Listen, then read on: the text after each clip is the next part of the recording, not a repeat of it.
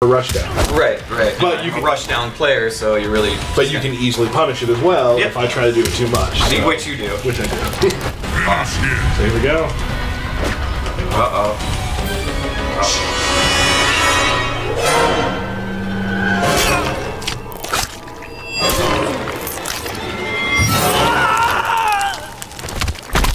Jason wins. And I also like the fact that during that fatality, it had that like horror f- film just done, and he was looking up like, "No, don't kill me!" It's so perfectly. I, I love so many of the design things for Jason just because it does feel